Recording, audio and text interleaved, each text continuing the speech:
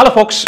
And we have a All India mock from uh, June 15 to 17. It's a beautiful idea to take an All India mock, to take a high quality mock so that you know, hey, one, what is this mock taking experience? Uh, can I hang in there and do I have the stamina and energy and intensity to do a 120 minutes at a stretch thing? And then three, where do I stand? The where do I stand part is not that crucial in June. It becomes more relevant when you go to September, October, and what your percentile is and all of that.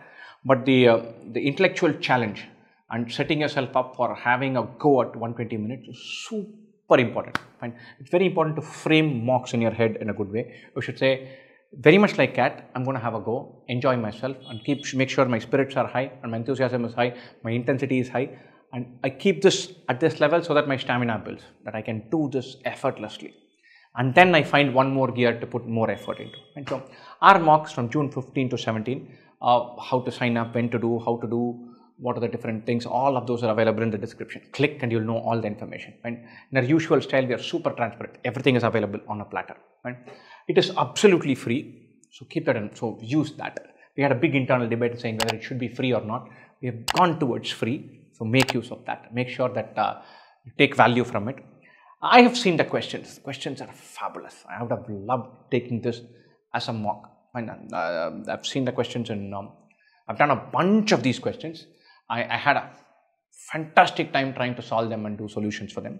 As usual, for, as, because it's our mock, every single question will have solutions and detailed solutions and video solutions wherever relevant. And so do, I don't believe in having a benchmarking exercise without having a learning objective. Doesn't work for me. My head doesn't accept that.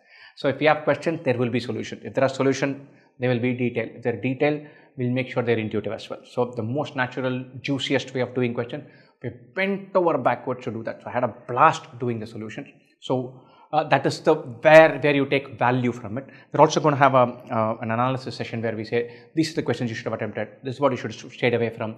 This is what is uh, dicey. This is your scoring section. This score would have fetched you this percentile. That also going all the way out. So all out here to make sure it's a beautiful experience.